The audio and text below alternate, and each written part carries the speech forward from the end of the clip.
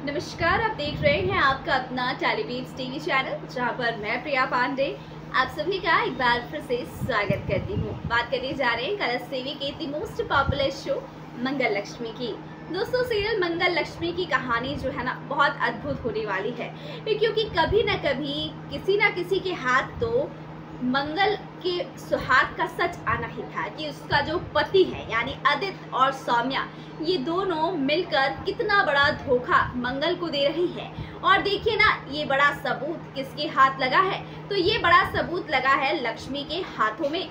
देखिए किस तरह से एक वीडियो लग गई है लक्ष्मी के हाथ में, जिस सौम्या और आदित्य के रिश्ते का साफ़ साफ़ खुलासा हो रहा है कि ये दोनों एक दूसरे के साथ फेयर में है। दोनों का एक गलत तरीके का रिश्ता है और इस गलत रिश्ते का विरोध होना चाहिए।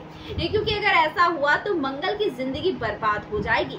अब जब लक्ष्मी को इतना बड़ा वीडियो मिल चुका है और वो सब कुछ जान चुकी है कि आखिरकार इतने सालों से जीजू का जो बर्ताव है, वो दीदी के साथ इतना खराब क्यों हुई? यानी आदित्य और मंगल के रिश्ते के बीच की जो अनबन है, खींचतान है क्यों आदित्य जो है मंगल को प्यार नहीं करता रिस्पेक्ट नहीं देता? इसकी जो मुख्य वजह थी, वो वजह आ गई है लक्ष्मी के सामने और अब लक्ष्मी जो है ना, अपनी बहन मंगल को न्याय दिलाने का ठान लेती है और इस वीडियो को लेकर पहुँच जाती है मंगल के पास और दिखाती है उसके पति की सच्चाई। जी हाँ और अपने पति की असलियत और सच्चाई जानकर मंगल के होश उड़ जाते हैं। पहले तो वो जरा भी भरोसा नहीं करती है इस वीडियो पर और लक्ष्मी को भला बुरा सुनाती है, डांट फटकार लगाती है।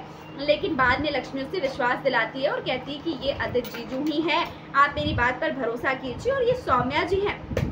अब ये सब देखने के बाद ना मंगल का बहुत बुरा हाल हो गया है। मंगल को समझ नहीं आ रहा कि वो क्या करे और क्या नहीं।